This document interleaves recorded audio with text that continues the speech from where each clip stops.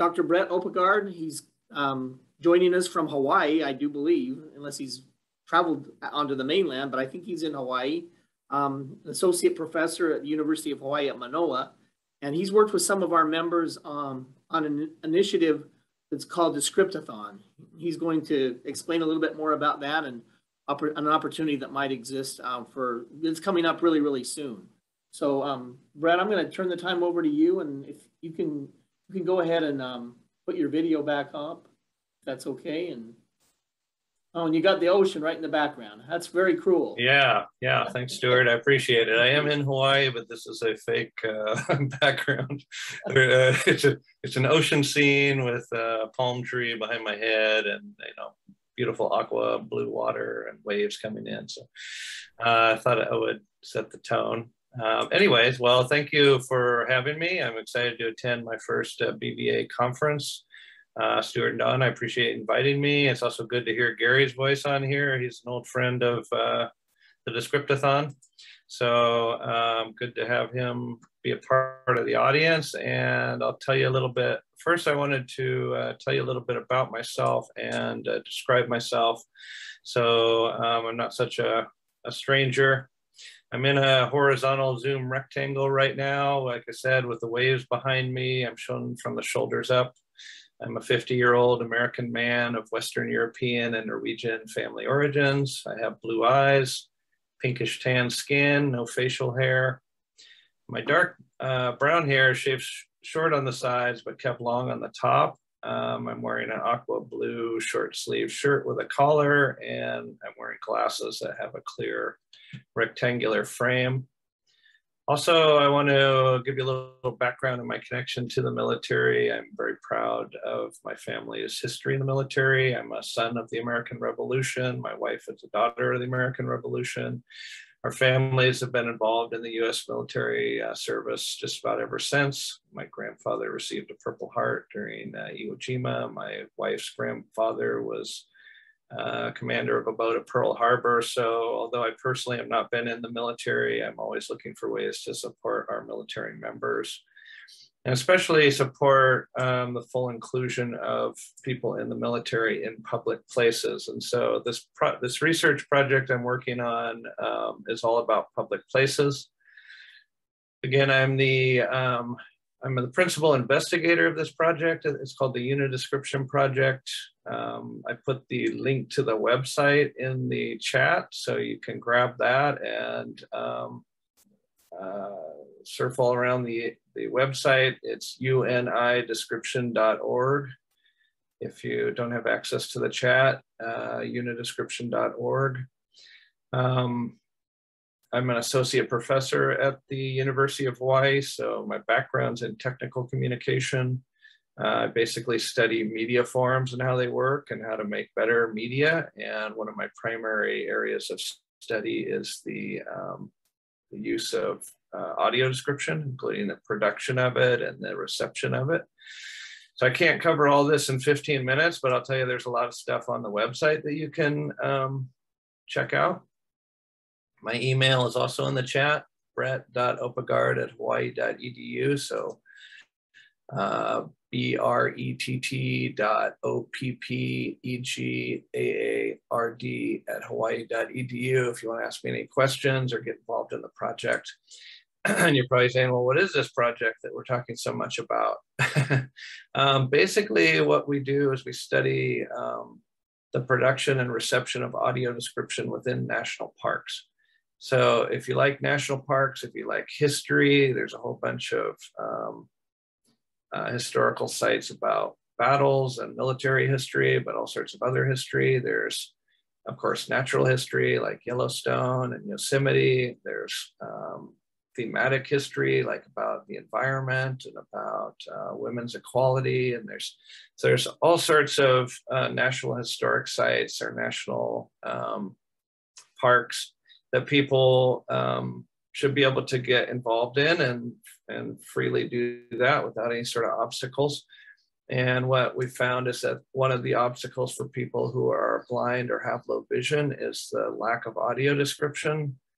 And so we've been trying to address that by um, building web tools for creating audio description and also building web tools for um, disseminating audio description. So uh, getting that audio description that we spend a lot of time working on, we give it to people um, through a variety of ways, but the primary way and one, what I'd recommend if you have a smartphone is to go into your app store and type in UNI description, UNI description, and then download the app and you can listen to all sorts of um, audio description from national parks around the country.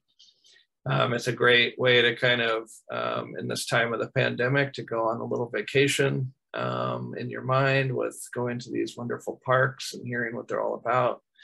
and these descriptions are not um, audio tours, they're audio descriptions. So they're designed specifically for people who are blind or low vision. And, um, and we've worked with about 130 or so national parks in the country right now. Um, there are about 400 sites, so we still have some, some ways to go. Also, we've also been working with Parks Canada, um, our neighbors to the north, and we have uh, in our latest round, in our upcoming round, we'll be working with um, national parks in UK. So we're starting to work into Europe and and other places. Um, in addition to national parks, we have other uh, public places that people can get involved in through audio description. That includes uh, fish and wildlife sites, if you like to be outdoors, uh, in the fish and wildlife refuges. Uh, and also if um, you like the arts, like the Kennedy Center, that's part of a, a, group that we're working with. And so there's just a lot of opportunities to um, get engaged in public places with through audio description and and uh, what we do is try to figure out how to make better better audio description and then also how to get it to people um, where they need it. So I'll give you, um, I'm going to give you a couple little samples of what we're working on and then um, open the floor to some questions. I know I have a pretty short window of time. But uh, one of our projects we're working on that might interest you is funded by the National Endowment for the Humanities. And we're um, working around a site in San Francisco called the Presidio. And in that site, there's a public uh, walk called the Goldsworthy Walk, where there's some public art in that area. And um, people who go to San Francisco and want to go into this area right now, there are some tactile parts to it. And obviously, being outdoors, walking on trails is fun. But it's also a lot of fun to um, have this have the visual information translated into audible information so you can you can uh, have the same equivalent experience as people who can see the artwork. You know what are they what are they seeing and what does that um, what is that information? You want to have it too. So uh, we've we've spent about the past six or eight months working with some sound artists in that area. And what we have um, been studying there is a is a uh, kind of a gold standard of audio description. Like how can we take audio description, which is primarily utilitarian and just the facts, and how can we turn it into something that's beyond that? so I'm gonna, I haven't tried this yet, but I'm gonna try sharing my screen and play sound. Hopefully you can hear it. I'm sure Stuart will let me know if it's not working, but um, nope, I guess I can't share my screen and play sound. So I'll have to try that again. So, uh, Brad, I'm gonna go ahead and give you the um, co-host Okay. So I think that might do it. You just want to share your screen, right? So yeah, and my hold sound. on just one second. I'm gonna make that possible. Okay. There we go. All right. Nice. I think Thank that you. should do it. Yeah. Awesome. Okay. So this um, this piece I'm playing uh, is available on the mobile app, and it's also available online on the website, so you can hear the whole thing. But I just wanted to give you a taste of what um, we're doing there. And so basically, um, we have utilitarian type um, description, which is created by the national park folks, and it's good and high quality. And so one of the things we're studying is how does the diff- how do different voices affect the reception of the audio description? So I'm just going to play a short clip from like the most basic level of audio description that we put together. This is a, Images Goldsworthy in the Presidio. Image 1 of 4. Spire description The top left is the spire, constructed in 2006. 15 inches wide at the base and 100 feet tall, the spire stands sharply vertical in a forest landscape. Okay, so that's about one of the pieces of art in the Goldsworthy. Um, and so we take that same description and we machine voiced it that way. And we have another machine voice that we try. This is how this one sounds. Image is Goldsworthy in the Presidio. Image 1 of 4, Spire. Description The top left is the spire, constructed in 2006. 15 inches wide at the base and 100 feet tall. The spire Okay, and then uh, so we so we start to study like how do these different voices affect the um, reception of of the description, and then we added a human voice to it. I'll just give you a little bit of that. Again, you can hear the whole things on the mobile uh, web or the or the mobile app. Just um, look up Goldsworthy on there. Images Goldsworthy in the Presidio. Image 1 of 4. Spire. Description The top left is Spire, constructed in 2006. 15 feet wide at the base and 100 feet tall, the spire stands sharply vertical in a forest landscape. So we're doing that kind of research, and we're also taking the next step, which is uh, giving the artist the the idea and saying, like, okay, if if we were if we were going to create a piece of sound art around this, but it was also audio description specifically for people who are blind or low vision, how would you do it? And this is just a little clip of a much longer piece, but I just wanted to, you to hear how that sounded. Inspired in 2008, installed on the hill across from Inspiration Point. Completed in 2008, Spire looks just like its name. It's tall spire made from 37 Monterey cypress tree trunks, carefully fastened together and twisting up and up, almost 100 feet in the air and 15 feet in diameter at the base. That sounds big, but how can we get the full sense of the scale of Spire? Okay, let's try something. Lift your arms over your head. Reach as high as you can. Feel the air on your fingers. Now, take a deep breath. Close your eyes. Imagine the trees stretching up together, just like your body, but 15 times higher than your fingertips. At the very top, these are the fingertips of the trees. They're feeling the wind. Imagine that space above us, that huge openness. Now, Reach up with your listening, up into the air. Use your mind's ear.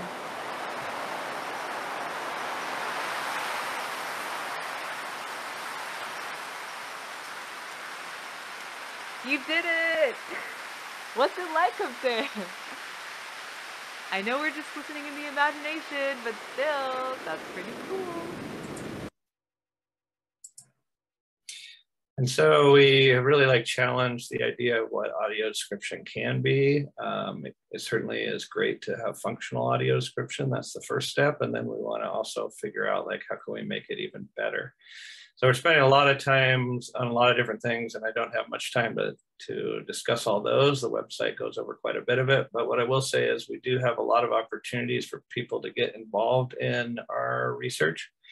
And um, part of that is upcoming uh, Descriptathon, we call it, which is like a hackathon. And we put people into teams. So the teams have some staff members from the park site, they have the volunteers, they have some people from American Council of the Blind, Blinded Veterans Association. Again, Gary can talk about this uh, if you know him and want to chat with them about how it works but we bring the bring this team together and everybody works on creating the audio description for the site. And then we share it through our through our uh, mobile apps. And then we get gather information about what people think about it. And that um, leads us to create better audio description. And unfortunately i'm out of time. I'd love to talk longer but um, and i see at least one hand up. Um, but i'd be happy to take questions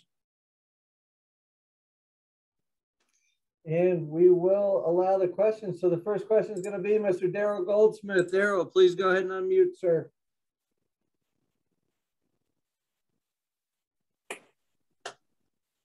Yes, can you hear me? I can, Daryl. Hi. Hello. Thank you for what you're doing. Um, I love descriptive everything, and um, I just am impressed on how from the mechanical um, voice has evolved into very real sounding. Um, that was very impressive. I, um, I entered. I was in Hawaii years ago and locked up in the Halawa Valley Quarantine Center with my guide dog, and um, and I ventured out and went to the Arizona Memorial. And uh, on the way out there, of course, they give you the history. Um, but after I arrived on the memorial, um, if it wasn't for the kindness of a lady who described the plaque with the 1102 na- names on it and took me around the barrier and let me braille it, let me feel the whole plaque. Um, but I was wondering if you have done anything with descriptive at the Arizona Memorial or any of the World War II uh, Pearl Harbor invasion um, sites. Um, we have been in discussions with the with the folks. It's called the Valor in the Pacific is the name of the site. Um, but we haven't done the um, the Arizona Memorial yet. We haven't described that yet. Uh, we would like to, and that would be great if like if you send me an email now saying I really wish that would be described, I can give it to the park people, and that will maybe um, give them an incentive to do it. Um, so please do that but we have quite a few um, quite a few World War II sites that have been described or are related to World War II. Um, the list is on unidescription.org, and if you go to impact, um, if do you have access to uh, that website? I, I will be able to, yes. Okay, so just go to impact and then um, the actual link is called, uh, I think Parks We Worked With or something like that. And there's a whole bunch of them.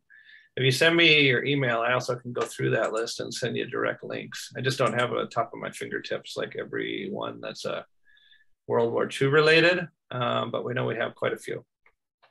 Well, Thank Um, you. and we, I mean, we have like, for example, the Eisenhower Memorial. We have uh, Rosie the Riveter. Um, are just coming to mind. Things like that. FDR's uh, historic site. Um, depending on how tangential you want. If you want just like battle sites, I'd have to look through the list. But um, yeah, I know I know we have quite a few. All right. Thank you very much. Yeah, yeah, sure. Just send me an email. I'd be happy to help you. Yes, sir. And, and Brett, it's Don Overton. Thanks so much for joining us. We're gonna hold and see if there's any additional questions. I just want to say I lived over on Oahu for a couple of years, and so I'm very, very jealous right now. And uh, you, you have some positions open up. I'm right well, you got to come miss- visit. Come, I, yeah, I come miss visit. being over there. The only thing I don't miss is you know eating poi all the time every time I have breakfast. So yeah, well, uh, we we should do a descriptathon here where you come and do it in, in It person. sounds like a plan to me. I'm gonna um bring uh Gary on. Gary Schullerman, go ahead, sir. Please unmute. Uh, yes, this is Gary Shulman, Louisiana Mississippi Regional Group. Uh, I want to encourage every all the BVA members to, to join us. It's uh, I did the last one they had, which was back in February, and enjoyed it. It was uh, you met a lot of park rangers from uh, ours. The one the park we were doing was in Kansas. It's a, uh, a fort, Fort Larned in Kansas, and met the the park rangers there, plus an ACB person from South Dakota, and then another volunteer from Virginia. And our weather here was in the 70s, and their weather up there was below zero. So I enjoyed it very much. But it was it's a it's a it's a great organization. It's uh, very fun. A lot of takes a couple of days to do it, but it's, it was uh, very interesting. Thank you, thank you, Brett. Yeah, yeah. Thank you for all your hard work on it, Gary. We really appreciate it. Having him be involved. I did remember too, we have the world, uh, sorry, going back to Daryl's uh, question, we have the World, World War II Memorial in uh, DC also described. So, but yeah, and Gary was a great contributor. We had a, a couple BVA members in the last Descriptathon. They seemed to have a lot of fun. Um, and we would love to have more. This is um, very important for me to help reach out to people in the military or blinded veterans and get them uh, access to these public sites. So uh, I hope you'll hope you'll come and see how we can help. Eduardo Miranda, go ahead, Eduardo. Go ahead and unmute, please. Currently unmuted. Thank you. Very you are good. currently on a table. Awesome to enter this presentation. table, press Control, I just Option, wanted to, down arrow, uh, Zoom point as a new out- window. With the 100 year anniversary coming up for the Tomb of the Unknown, I wanted to put in a request for the USS Olympia in Philadelphia. Great. Would you mind sending me an email on that? Uh, because these are the kinds of things that when I forward to the sites, they get really excited about. If it's just me saying, yeah, we should do that, then they're, you know, they got, they're getting pulled a lot of different ways. But if Zoom you as a send, new window. if you send me the You got it. email, I think, yeah, that'd be great. I appreciate it. We'll, You we'll got get it. on it. You know, we love to have, we love to have sites that people are ex- excited about and eager to get involved in, but they feel like there's some obstacle to their activity there. And and if audio description's is the only obstacle, then we got to give them the audio description. So, um, thank you, Eduardo. And We'll hold for another minute to see if there's any other questions. Anybody else, please use the raise hand feature and we'll call on you. And again, the Descriptathon's a, it's like a hackathon type environment where people get on these teams. We have a lot of activities. It's a lot of fun. There's a lot of interaction. Um, people who are blind or low vision are equal members of the teams. They have full agency to participate. It's not, um, it's not like just sitting around waiting for someone to hand you some description. You're co-creating it. And, um, and then there's uh, chances at the end to also go to these sites and test the audio description on site, which um, we really like to. I mean, obviously there's some pandemic concerns, so that sort of slowed us down on that, but we love it. We love getting people on field trips to national parks and um, getting people feedback. Yeah. Wonderful. Hi, Tracy Farrell, go ahead, sir. Hi, Brad. Uh, this is Tracy Farrow down here in Louisiana. I got a veteran with me, and he's curious on the World War II Museum in New Orleans. Uh, I, I know they have the descriptive telephones. You put the card in, and, and you hear the simulated voice of one of the soldiers or sailors or airmen that were in the, in the war, their story. But do you have anything in the running for describing the actual uh, uh, things that you see within the museum? Do, you, do they do things like that within a museum type environment?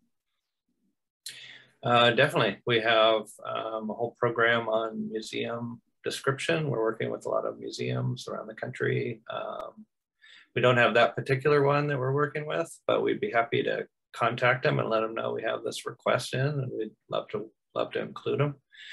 Um, so if, again, if you send me the, e the email with the official name of the place, so I know exactly where it is, I can reach out to them and say, I've had this request. Would you like to be a part of our next Descriptathon? And basically what happens in the Descriptathon is we practice description, but we also make description that's going to be released to the public. So at the end of the Descriptathon, which is a three-day event, um, the description that we create is, is uh, put out to the public in, in free ways. There's no, this is not a, this is a research uh, grant funded program. There's no cost to anybody producing or consuming the description. We just are trying to make better description and research how to make better description. So um, I'd be happy to contact those folks in Louisiana. We, um, we do have the, I can't remember which direction it is, something Louisiana um, Wildlife Refuge is in our next Descriptathon, so coming up in October. Um, so that'll be coming into play. Um, but, and we also have, I, I, believe, some other description in Louisiana. I'd have to look at the list. But if you send me an email, I'd be happy to to uh, locate all that for you. Cool. Thank you. Thank you. Go ahead, Yeah, Daryl you. Goldsmith. Go ahead and unmute Daryl. I think somebody's knocking at the door. Yes, um, and more than likely the same answer that you gave Tracy uh, will apply to this. Um, but the Pensacola Naval Air Museum, home of the Blue Angels, um, Yeah. that would be a very great um, one to do if if if possible. Yeah, we'd love to. Um, it just comes down to can we get the, the site to participate? And if they can, we have grant funds for the next three years to support a lot of this. So um, we're just, I'll just let them, you know, let them know you're interested, let them know we have the program and then try to get it going. Yeah. And then they also, they also can do it on their own too. You know, everything we make in our project, we put on the website for free use and the tool's free to use. So, um, you know, beyond the descriptathon, people can get on there and just start describing today. And it takes about 10 minutes to learn the website. And, and then you can push a button and start popping out the audio description. So there, one of the parts of our research project has been to completely eliminate or lower uh, dramatically any kind of um, obstacles pr- to producing and sharing audio description. And those have basically been eliminated. If you can type in the text, you can share audio description. And, and even copy and pasting, if they already have audio description, but they just can't, like their machines are broken or whatever, we can just copy and paste it into our system and, and uh, export it. So um, yeah, be happy to send send them all my way, and I'll, I'll be happy to reach out to these folks and do all the legwork. Yeah, and likewise on blinded veterans side, we're gonna make sure that we get these resources up for everybody. We'll make sure that we incorporate those in the next evolutions of the websites, and we'll also connect them to this presentation session. We'll make sure when we set up those landing pages for this presentation post uh, convention, uh, we'll make sure that you're able to access all these additional resources. So Brett, thanks. I'm going to kick it over to Stuart to wrap things up. Okay, thank you again.